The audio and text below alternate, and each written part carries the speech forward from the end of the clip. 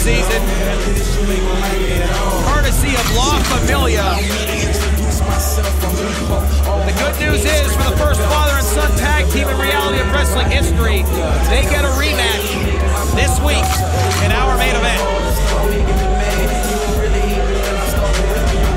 Even after losing the tag team championships to La Familia Christmas Chaos, they still had enough victories in the W column to warrant an automatic rematch. One of a kind, never clone him at all. Evidently she ain't gonna like me, no. Let's see if lightning can strike twice for La Familia.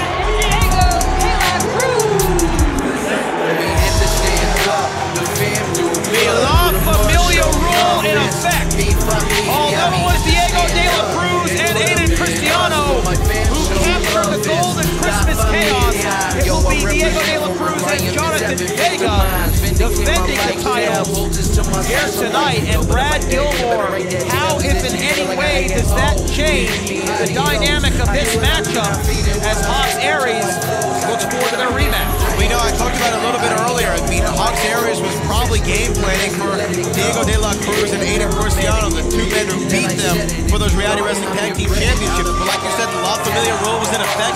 I heard rumors that this might occur, and I think you have to throw their whole game plan out of the window. They weren't expecting Jonathan Vega to be in this contest. It gives La Familia, the champions, an advantage.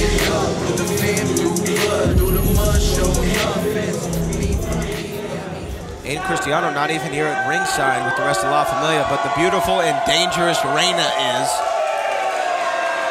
She has made her presence felt in these contests over the years here at the Row.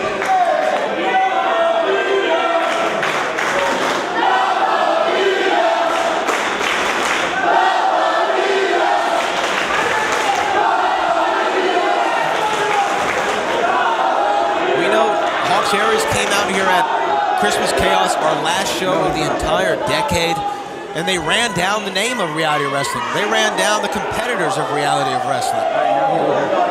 And La Familia said, hey, we might have our differences sometimes with the Road Nation or people backstage, but we are still reality of wrestling to our core. And they came out and they proved it. Diego De La Cruz and Jonathan Vega, these are their first championships in their reality of wrestling career. Aiden Cristiano, of course, was a former reality wrestling tag team champion as well as television and heavyweight champion here at the World. In 2019, there were two major stories within the reality of wrestling tag team division. Obviously, the first father and son tag team in Row history, which later captured gold, would be Hawx Aerie, Luke, and PJ Hawx. The other, of course, is Team Fly Death, and what has occurred in both of their singles careers since being dethroned by Hawx Aerie. But we've been seeing it building slowly behind the scenes. La Familia, pin attempt here, kick out at one. La Familia getting closer and closer, becoming a more cohesive unit. And now they have captured the tag team championships. They were certainly the sleeper of last year, you have to admit. Oh, absolutely, Matt Topolsky. And I think that really played to their advantage. Here's the thing La Familia won these championships in an open challenge. Again, the Hawx Aerie put themselves at a very big disadvantage as now PJ tags in his dad, Luke Hawx. And I think that the disadvantage continues for Hawx Aerie, uh, even though they're a phenomenal tag team. Uh, to come in here and not know who you're going to face again for the second time in a row. I mean, uh, the, the, the ball is firmly in La Familia's court in my mind.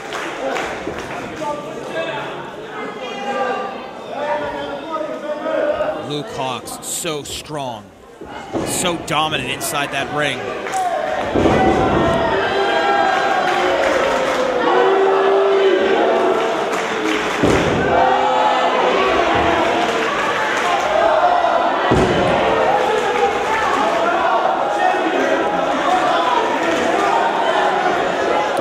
Diego De La Cruz, obviously the bigger between the two men in his team, and he is still agile and quick as they come. After some jaw jacking with the Hoss Luke Hawx. He's now trying to get some big offense in, and like that, Matt. Diego De La Cruz, head scissors. Flurry of offense here from the tag team champions. Luke Hawx gets his son PJ involved.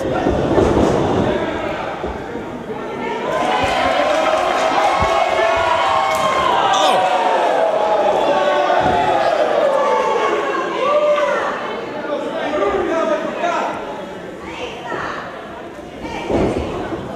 Move into the corner.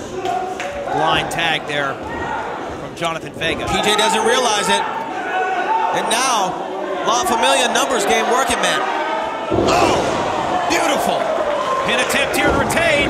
Oh, look at that. We'll talk about speed. Did you see how quick Luke Hawx just went in there to break that up? Wow. And a tag to the veteran. Oh, Luke Hawx now just backing Jonathan Vega into the corner and going after him like a hungry dog.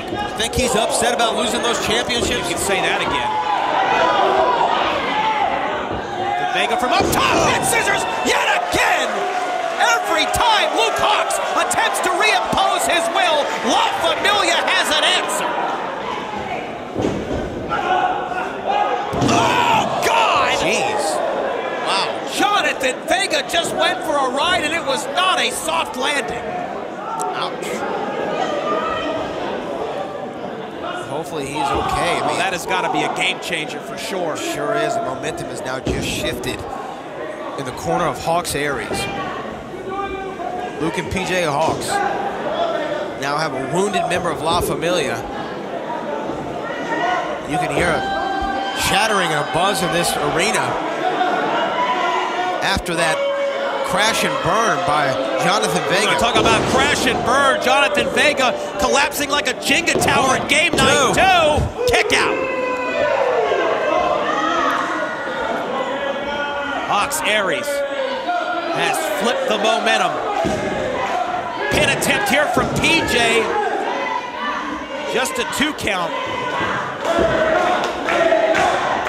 Jonathan Vega's in big trouble, Brad. He is in big trouble right now. Look at that. He was in big trouble, but now a desperation type maneuver. That big DDT planting PJ's head into the mat. And can he get a tag, Matt?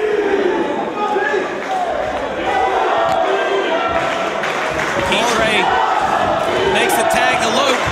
Tag in here for Diego De La Cruz.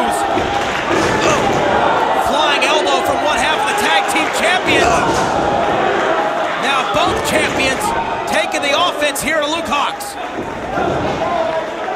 Oh, look at that. Back kick didn't get all of it, but enough to rock the Southern Stomper. And now Luke Hawx going to the outside right here in front of us. Lariat over the top. PJ.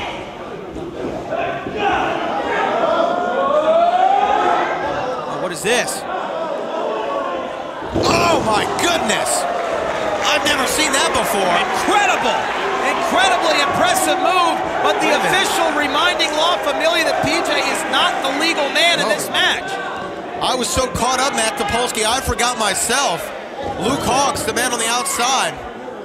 La Familia had it won if they just had the right lottery ticket.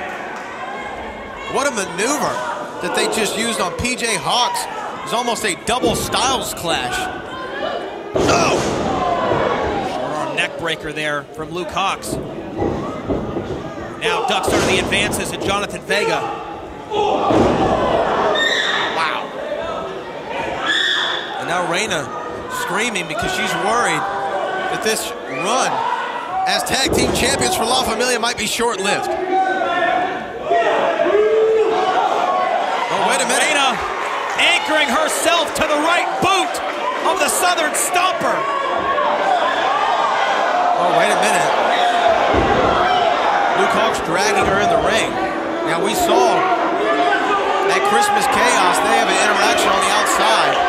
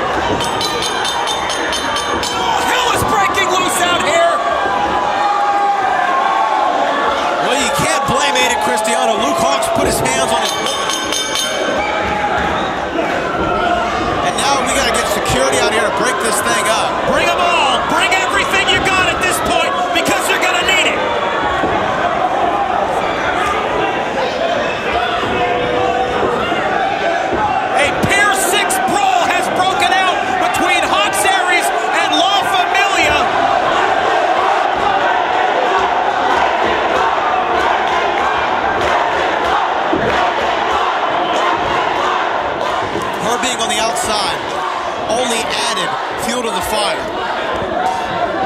Well, regardless of how it may have started, that fire has grown into a blazing California wildfire right now between Aiden Cristiano and Luke Hawx. And it's going to